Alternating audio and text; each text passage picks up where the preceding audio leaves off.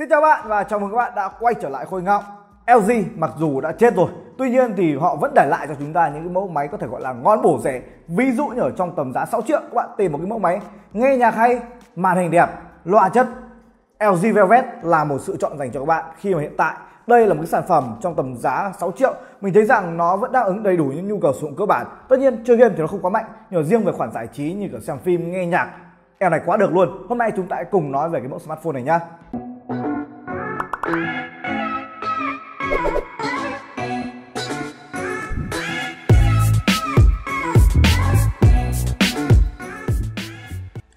đây chính là chiếc LG Velvet của mình Một cái sản phẩm mà kích thước màn hình thì cực kỳ to luôn.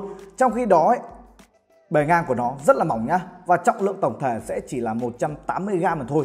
Nhẹ hơn hẳn so với những mẫu máy Ví dụ như cả con uh, iPhone 12 Pro Max cùng kích thước khoảng tầm 6,8 6,9 inch nhưng nó nặng đến 230 g mà thôi trong khi đó em này vẫn có kháng nước kháng bụi nhá chưa kể tiêu chuẩn STD 80G cho cái độ bền rất là cao mà trọng lượng sẽ chỉ là 180g các bạn nhá. Đây có thể coi là một chiếc điện thoại mỏng nhẹ mà vẫn đạt một cái độ bền thuộc tiêu chuẩn quân đội luôn. Một cái sản phẩm mà theo mình nghĩ rằng rất nhiều bạn thích ấy bởi vì nó quá mỏng và nhẹ mà người ta gọi là mỏng cánh ấy.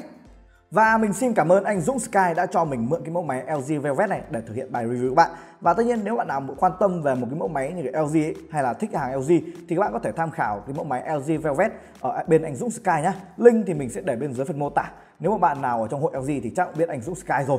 Anh này thì chuyên hàng LG như kiểu V50 sau đó những sản phẩm khác. Velvet này là một trong số đó. Và nói phần màn hình của LG Velvet ấy, thực sự em này to đừng hỏi luôn. Kích thước 6,8 inch, mật độ điểm ảnh cao 395 ppi cũng như là một cái tấm nền của LG OLED. Nhưng mà đáng tiếc một cái là em này sẽ không có độ phân giải màn hình 2K mà chúng ta sẽ chỉ có Full HD Plus thôi nhá. Nhưng mà dù sao thì nhiêu đó cũng đã quá đủ rồi để cho chúng ta một cái trải nghiệm cực kỳ tuyệt vời khi bạn như kiểu xem những nội dung với độ phân giải cao, ví dụ 4K hoặc là à, uh, HDR chẳng hạn. Và có thể nói với màn hình của LG Velvet ấy, thì đây có thể coi là một trong màn hình tốt nhất các bạn có thể tìm thấy được trong tầm giá 6 triệu khi mà màn hình của nó hiển thị cho màu sắc độ nổi khối mình nghĩ rằng rất tốt trong tầm giá này luôn. Đây là một cái tấm nền mình nghĩ rằng ProRes được của nó các bạn ạ. Trước cả màn hình này mà các bạn xem YouTube ấy, thì gọi là to đừng hỏi luôn. Bây giờ mình sẽ bật cho các bạn xem nhá. Tầm giá 300 nghìn mình thấy rằng nó phù hợp dành cho những bạn nào thích nghe những thể loại nhạc có lời phải nói nó rất to luôn khi mà chúng ta sẽ có giải loa kép ở cả trên và dưới ở đây. Và tất nhiên loa này ấy, thì chúng ta có thể tinh chỉnh bằng những tính năng mà LG họ đã tích hợp sẵn ví dụ âm thanh 3D đa phương tiện cũng như là một số tính năng để bạn hỗ trợ cho khả năng nghe nhạc khác. Và thực sự đây là một trong cụm loa mình nghĩ rằng rất là tốt trong cái tầm giá này. Đúng là khi mà các bạn mua một cái mẫu flagship cũ ấy một cái sản phẩm cao cấp cũ ấy thì bao giờ nó cũng có những công nghệ âm thanh chất lượng đặc biệt là những mẫu máy LG như này. Em này có một cái thiết kế có thể gọi là mỏng nhẹ, màn hình thì ok, nhờ hơi đáng tiếc một chút khi mà xét về con chip ấy, nó sẽ chỉ có đó chỉ là Snapdragon 765 5G mà thôi. Đây là một con chip các bạn biết rồi, xuất hiện trên rất nhiều sản phẩm. Tuy nhiên thì với những cái mẫu máy LG thì các bạn cũng rõ ràng một điều, đó chính là chúng ta sẽ có một hiệu năng nói chung là nó không quá đỉnh.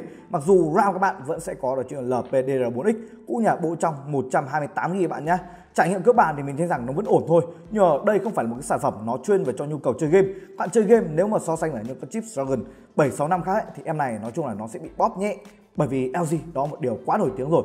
Điểm Antutu hiện tại nó sẽ chỉ là 346.000 điểm Antutu mà thôi không phải một điểm số nói chung là nó cũng quá là cao. Nhưng mà dù sao cái như đánh giá thì với những trải nghiệm cơ bản nó vẫn rất là ổn các bạn nhé Camera cũng là một điểm đáng để nói ở mẫu LG này, khi mà nó có cụm camera sau với ba ống kính ở đây, cụ thể 48 pixel, dùng để chụp camera chính, hỗ trợ những cái công nghệ ví dụ PDAF chẳng hạn, hay là cụm camera với độ phân giải là 8 pixel, đóng vai trò là góc rộng, và cái cụm camera cuối cùng với độ phân giải là 50 pixel, đóng vai trò để chụp, để lấy chiều sâu các bạn nhé và với em LG OVS ấy, chúng ta cũng có kha khá chế độ để vào vạch. Cụ thể ví dụ ở trong à, phần chân dùng đây các bạn vẫn có thể áp dụng những cái hiệu ứng những cái màu phát họa vân vân.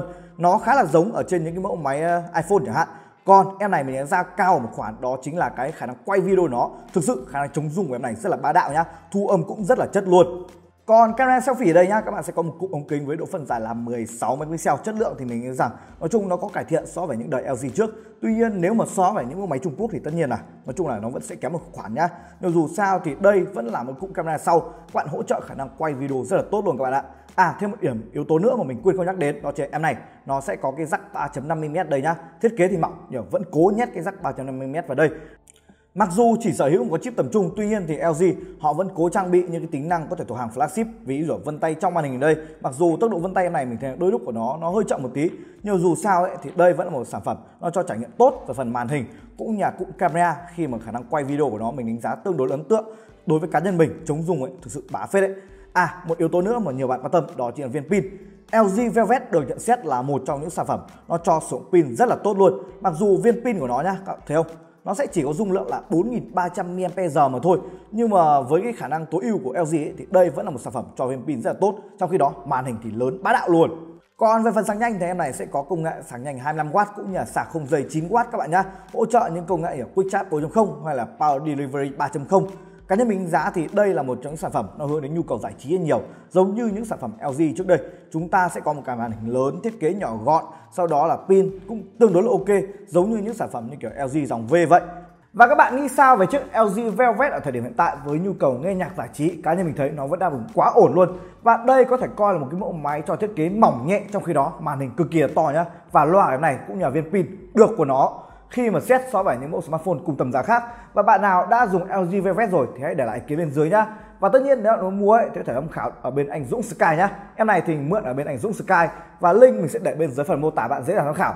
Còn thực sự khi cầm vào em này mình thấy rằng Quá đáng tiếc cho LG khi mà họ đã chết một cách sớm như vậy. Mặc dù chúng ta biết đâu vẫn có những sản phẩm sẽ được ra mắt tiếp theo, ví dụ LG, LG Velvet 2 Pro, một cái mẫu máy trong tin đồn. Và biết đâu nó có thể trở lại về Việt Nam dưới dạng hàng sách tay thì sao. Còn bạn nào quan tâm? Link mình sẽ để bên dưới phần mô tả bạn để bạn dễ dàng mua được em LG Velvet này. Còn nếu mà có cơ hội trên tay LG Velvet 2 Pro, mình sẽ trên tay các bạn ngay. Còn bây giờ, xin chào và hẹn gặp bạn trong các video sau. Bye bye!